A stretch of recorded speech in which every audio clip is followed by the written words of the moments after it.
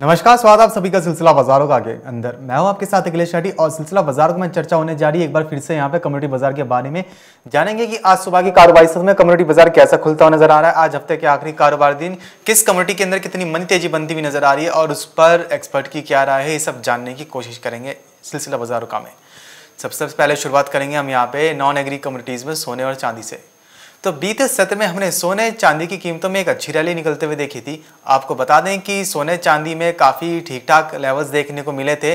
सोना पाँच महीने के हाई पर कारोबार करता हुआ नज़र आया था।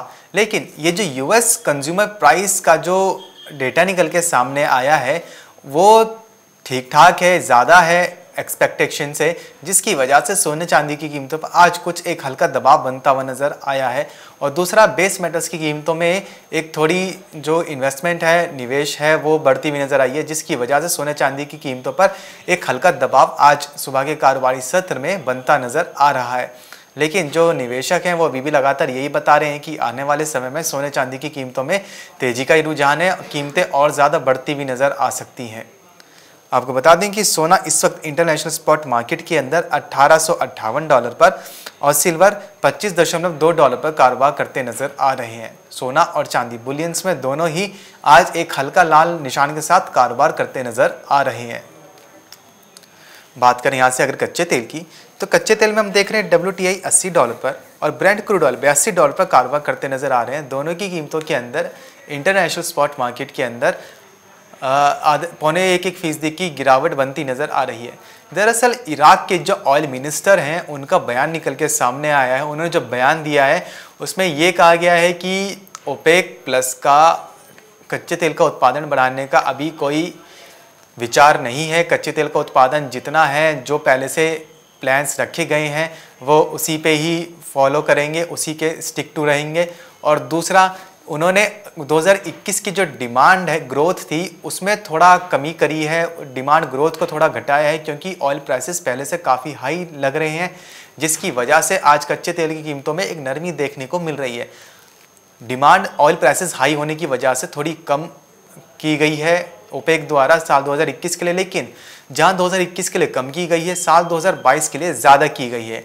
तो साल 2022 में साल 2021 के मुकाबले जो ऑयल क्रूड ऑयल की जो डिमांड रहेगी वो ज़्यादा रहेगी और जो प्राइसेज हैं वो भी अच्छे खासे देखने को मिल पाएँगे। अभी ऐसा बयान निकल के सामने आ रहा है।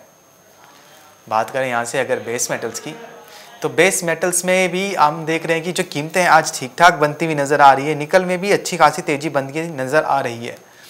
तो आज सोना, चांदी, कच्चा तेल और बेस मेटल्स में क्या करके चलाना सही रहेगा? आइए जान लेते हैं रूपा जी से। रूपा जी बहुत बहुत स्वागत है आपका मार्केट एमसीवी पर। जी, शुक्रिया। रूपा जी देख रहे हैं, सोना आज एक हल्के से दबाव के साथ कारोबार करते नज़र आ रहा है। बीते सत्र में हमने सोने को पाँच महीने का हाई पर जाते हुए देखा था। आज देख रहे हैं हल्का दबाव है। आपको क्या लगता है, क्या यहाँ से कीमतें अभी और दबाव में जाती हुई नज़र आएँगी या फिर यहाँ से सोना एक बार फिर से सस्टेन होकर उन्नीस डॉलर का लेवल टच करेगा? देखिए, आज हल्की करेक्शन ज़रूर देखने को मिल रही है, लेकिन अभी भी बाज़ार तेज़ी के साथ ही है। आप देखिए, अठारह साठ डॉलर के ऊपर कल हमने सोने को जाते हुए देखा था, लेकिन आज जो है बाज़ार अठारह के आसपास कारोबार करता हुआ दिखाई दे रहा है। और ऊपरी स्तरों पर एक मुनाफा वसूली ज़रूर हावी होती हुई हमने देखी है, लेकिन मुझे लगता है कि ये अभी बाजारों के अंदर यही लेवल्स जो है वो बने रह सकते हैं। जब तक अठारह 40 डॉलर के ऊपर सस्टेन है मार्केट तब तक इसके अंदर खरीदारी जो है वो लौटती हुई दिखाई दे सकती है। आज इंट्राडे में 1840 डॉलर तक एक बार सोना लुढ़कता हुआ दिखाई दे सकता हम्म। है। वहीं मुझे लगता है कि 1840 डॉलर के आसपास एक बार फिर से इसमें बाइंग इनिशिएट हो सकती है। अगर 1840 डॉलर का लेवल ब्रेक होता है तब थोड़ा सा प्रेशर जो है वो मार्केट में देखने को मिल सकता है। हाल फ़िलहाल में 1840 से लेकर 1860 की रेंज आज इंट्राडे में बनती हुई फ़िलहाल दिखाई दे सकती है। तो मुझे लगता है कि डोमेस्टिक मार्केट में भी जो लेवल है वो अड़तालीस हज़ार 800 से लेकर उनचास हज़ार दो सौ की रेंज के बीच में फ़िलहाल घूमते हुए दिखाई दे सकते हैं। तो इन्हीं रेंज के बीच में आपको बाइंग करके चलना चाहिए। अड़तालीस हज़ार आठ सौ के आसपास आए तो वहाँ पर खरीदारी की रणनीति बनाई जा सकती है। आज इंट्राडे में बिकवाली का प्रेशर बन सकता है तो ऊपरी स्तरों पर बेचकर भी चला जा सकता है। सौ से दो सौ पॉइंट के लिए फ़िलहाल जो है वो गिरावट बन सकती है और इन्हीं स्तरों पर बिकवाली के लिए जाया जा सकता है। जी।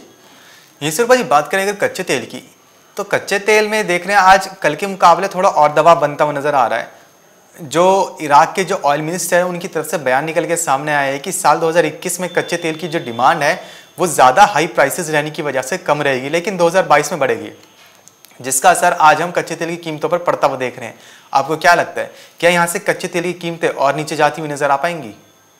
और देखिए, अभी फ़िलहाल डिमांड फैक्टर तो अच्छा खासा दिखाई दे रहा है और आगे भी एक्सपेक्टेड है कि तेज़ी जो डिमांड जो है वो देखने को मिल सकती है और बाजारों में वापस से जो है वो तेज़ी बन सकती है। अभी देखिए सप्लाई को लेकर काफ़ी क्वेश्चन मार्क है कि अगर सप्लाई बढ़ती है तो प्राइसेस डाउन जाएँगे और अगर सप्लाई नहीं बढ़ती और डिमांड इसी तरीके से ग्लोबली डिमांड बढ़ती रहती है तो प्राइसेस को वापस से बूस्टअप मिल, देखने को मिल सकता है। अभी जो बाजारों के अंदर ट्रेंड देखने को मिल रहा है, अभी आज गिरावट है, ऊपरी तरह से कल हमने इवनिंग सेशन में अच्छी तेज़ी आते हुए देखी थी लेकिन जैसे ही बाज़ार बंद हुए तो फिर वापस से गिरावट बनती हुई दिखाई दी। और अभी एक्सपायरी भी है इस मंथ की तो इसी वजह से पोजिशन स्केयर ऑफ़ होते हुए भी वायदा में फ़िलहाल देखने को मिल रही है। और इंटरनेशनल मार्केट्स में देखें तो 80 डॉलर के ऊपर क्रूड अभी सस्टेन है। और जब रेंट की बात करें तो वो 82 डॉलर के ऊपर है। तो 80 हम्म। डॉलर अहम सपोर्ट है। अगर इसको ब्रेक करता है तो फिर नीचे अठहत्तर डॉलर तक लुढ़क सकता है। तो फ़िलहाल इंटरडे में थोड़ा बहुत दबाव है। आज इंटरडे में सेलिंग का कॉल लिया जा सकता है। जी। यहीं से रूपा जी बात करें अगर बेस मेटल्स की तो देख रहे हैं आज बेस मेटल्स में बाज़ार हरे निशान पर कारोबार कर रहा है। आपको क्या लगता है, आज बेस मेटल्स में हफ़्ते के आखिरी कारोबार दिन कैसा रुझान देखने को मिल पाएगा इंट्राडे में? और आने वाला कारोबारी सप्ताह बेस मेटल्स के लिए कैसे साबित हो सकता है? देखिए बेस मेटल्स आज हफ़्ते का आखिरी कारोबारी दिन है। दबाव दिखाते हुए नज़र आ रहे हैं करेक्शन बन सकती है, लेकिन नेक्स्ट वीक में वापस से बाउंस बैक एक्सपेक्टेड है कि देखने को मिल सकता है। आज इंटरडे की बात करें तो कॉपर मुझे लगता है नीचे में 732 728 के अराउंड जो है सपोर्ट ले सकता है। ये दो लेवल्स है नीचे के लिए और वहीं ऊपर में सात सौ बयालीस के ऊपर निकलता है तो सात सौ अट्ठावन तक ऊपर जा सकता है। वहीं अगर बात करें निकल की तो निकल भी तेज़ी की तरफ़ है उसमें कोई बहुत ज़्यादा गिरावट एक्सपेक्टेड नहीं है। अगर गिरता भी है तो 1480 के आसपास सपोर्ट ले सकता है और ऊपर में 1540 से 1560 है। लेकिन मुझे निकल में गिरावट कम नज़र आती है क्योंकि प्रोडक्शन काफ़ी कम बताया जा रहा है जिससे कीमतों को सपोर्ट मिलता हुआ दिखाई दे रहा है। तो ओवरऑल ट्रेंड की बात करें तो बेस मेटल्स में खरीदारी की ही रणनीति होनी चाहिए। आज इंटरडे में थोड़ा सा स्लिप हो सकता है कॉपर लेकिन अभी भी मेरे हिसाब से बाइंग की तरफ़ रहना चाहिए। जो भी डिप मिले उसमें खरीदारी करके चल सकते हैं। जी। रूपा जी, आपकी तरफ़ से नॉन एग्री कम्युनिटीज में टॉपिक्स क्या रहेंगे आज के लिए? और आने वाला कारोबारी सप्ताह नॉन एग्री कम्युनिटीज के लिए कैसा साबित हो पाएगा? आने वाले, अगर सप्ताह की बात करें तो काफ़ी पॉजिटिव देखने को मिल सकता है। स्पेशली बेस मेटल्स जो है, मुझे लगता है कि नेक्स्ट वीक में एक अच्छा परफॉर्म करते हुए दिखाई दे सकते हैं। वहीं अगर देखा जाए सोना चांदी तो सोना चांदी में भी निचले स्तरों पर खरीदारी वापस से लौटती हुई हम देख सकते हैं। तो अगले हफ़्ते में बेस मेटल्स के ऊपर नज़र रखनी चाहिए, निचले स्तर पर खरीदारी करके चले और आज हफ़्ते के आखिरी कारोबारी दिन सभी कमोडिटीज के ऊपर दबाव बन सकता है। आज इंटरडे में बिकवाली करके चला जा सकता है। जी। तो ये तो बात करी थी हमने यहाँ पे नॉन एग्री कम्युनिटीज़ की। तो फ़िलहाल सिलसिला बाज़ारों का मैं बस इतना ही, लेकिन आप कहीं जाएगा नहीं क्योंकि खबरों का सिलसिला लगातार यहीं बना रहेगा मार्केट एम पर।